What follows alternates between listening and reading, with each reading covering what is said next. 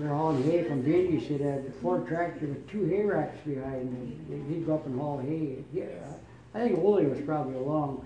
And then come with his two hay racks with a Ford tractor and Jenny seen a highway patrol behind him and thought, he, he'll fix him. So every time the highway patrol start passing, he'd pull over and they hear him, he'd have to back off. Yeah. And I'm up by the shopper and here comes Jennings with two hay racks and a highway patrol right behind him. He was mad. Oh, yeah. Teddy. He said, I'll fix that highway patrol. Yeah.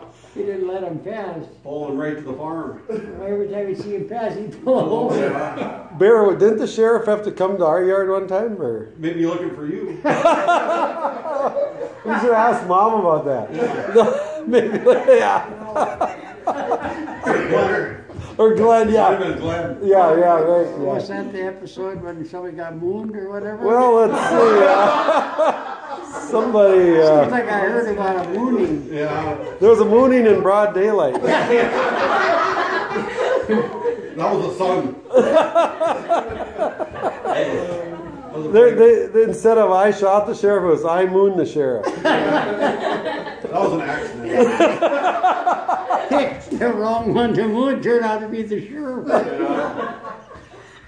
We all got a story like that. Bear, when you found out it was the sheriff, what were you thinking, Barry, when you actually uh, saw the sheriff? Uh, Well, Gilman, he kind of had a high pitched voice. yeah, he did.